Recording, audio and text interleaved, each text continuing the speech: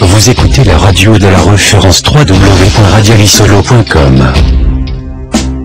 Radio-Télévision Lisolo, la radio de la référence numéro 1 de la diaspora congolaise. bote na bandeko nyonso bozali kolanda biso bozali branche toujours sur la 3 fw radio télévision lisolo ezali toujours ya bino dsv Diana Nsulufutu de Vuperta. Politique na ba, ba politique, laissez les politiques aux politiciens. Ki combattant bo telema kaka na kati ya ki combattant, mais laissez la politique aux politiciens. Eyindi na kati ya diaspora.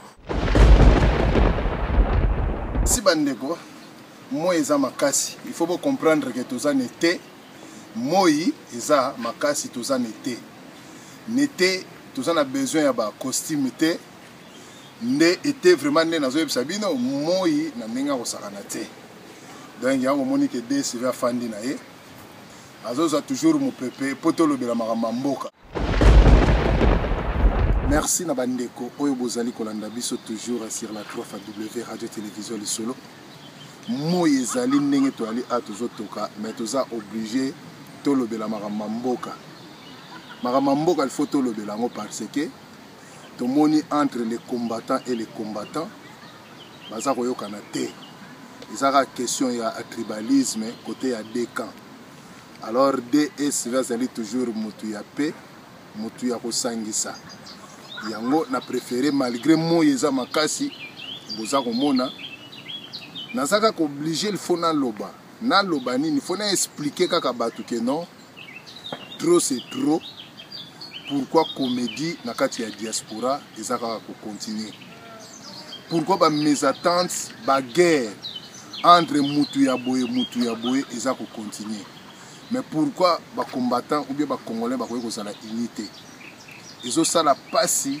na mawa parce que bacombattant bacongolais baza uni te koswana ekomi na bavideo Oyo alobi ya kobeta, oyo alobi ya kosala boye, c'est pas bon. Mais pourquoi tokoki kozala unité? Tozowelela nini? O oh, nga moto ya Kamere, o oh, nga moto ya IDPS, o oh, nga moto ya Parico, o nga moto ya SID. Tozowelela nini mpo na Congo? O nga grande leader. Eza pasi bandeko na pourquoi bokoki koluka unité te?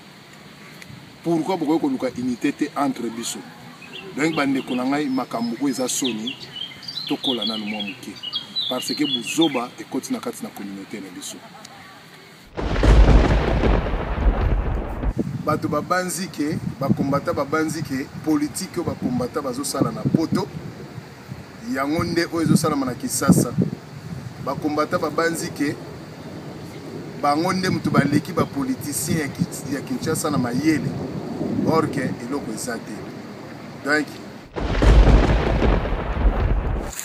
politike ndenge ezali wana na koyebisa bino komba ekomi ya bacompte a rendre cela veut dire Oyo akaneli Odon Mbo akobeta ye, oyo akaneli Boketshu akobeta, oyo akaneli Esso bakobeta ye.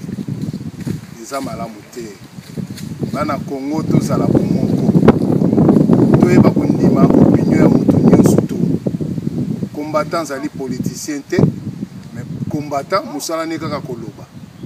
alors soki moninga alobi batire na ye ezali bien te benga ndeko na telefone obi te ndeko osololaki bien te mais guerre ekomi ya bavideo badonneur de leçon na kati ya bavideo tokobeta un politicien aza moto il faut bakritike ye mais kofinga te topesa respect na etienne tisekedi wa mulumba Topesa respect na Honore Ngwanda pe topesa ba respect na ba leader nyonso tout.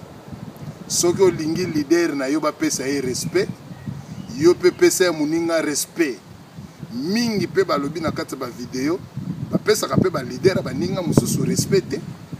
toyeba ko accepter ba opinion ya batu mutu na mutu aza na façon na ye oyo akaptaka makambo mutu soki alingi leader na ye ata yo olingi ye te mais ye alingi ye mais yango ekoma guerre te ya kobetana ya kofingana na ba video eza vraiment propre te ngai dsv naza toujours kaka mutu oyo nayaka kotia kimia esika bandeko bazali nazosenga na bacombattant mpe bacombattant nyonso to bandeko nyonso oyo bazalaki blesse na baku oyo bato balobaki nasengi na bino bolimbisi boyeba kopardonne les uns et les autres mpo kongo na biso ekende liboso Botika ba video ya ba message moko ya kobeta ya ba message moko ya ba intimidation eza vraiment propre te.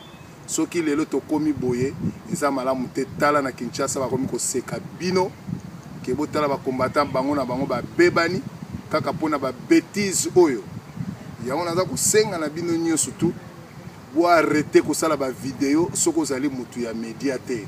Combattant akomi plus qu'un journaliste koleka biso moko bato topanzaka sango. Bolingi ba video, bolingi ba video yango boza kokweya na ba mbeba. Napesaka merci mingi na Bir Petit na nga Cocktail Explosif ndenge azo sakana na bino na comedie oyo bino boza kosala.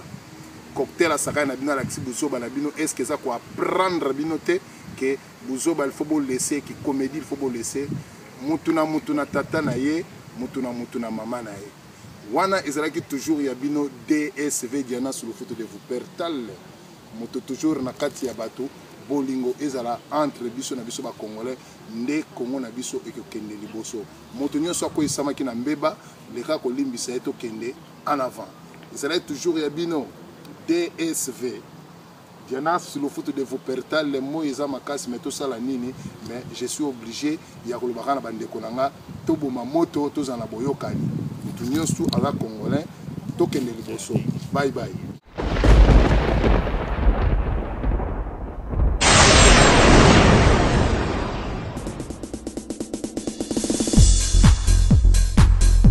La radio Lissolou maintenant partout où vous êtes.